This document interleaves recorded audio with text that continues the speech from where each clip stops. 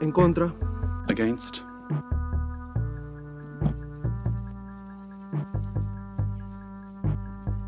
Abstenciones. Abstentions? फिलिस्तीन के गजा में इमीडिएट सीज फायर जंग को रोकने के आह्वान करने वाले संयुक्त राष्ट्र सुरक्षा परिषद के प्रस्ताव को संयुक्त राज्य अमेरिका ने ठुकरा दिया है अमेरिका खुले तौर पर इसराइल के ज़रिए फिलिस्तीन में नरसंहार करवा रहा है तो दूसरी तरफ़ युद्ध विराम के खिलाफ खड़ा है अब यह साफ़ हो गया कि जंग अमेरिका कर रहा है, न कि इसराइल अमेरिका की कठपुतली है इसराइल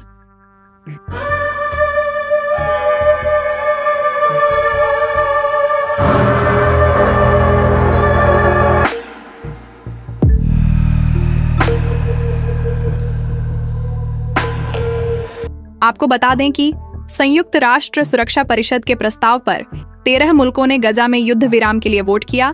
अमेरिका और ब्रिटेन ने इसके खिलाफ वोट किया।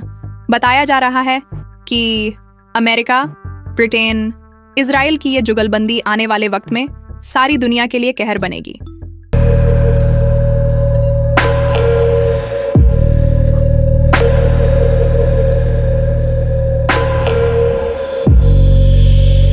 राजनीतिक विश्लेषकों के मुताबिक अमेरिका अपने दो चमचों ब्रिटेन और इसराइल को लेकर इस्लामिक मुल्कों को भड़का रहे हैं।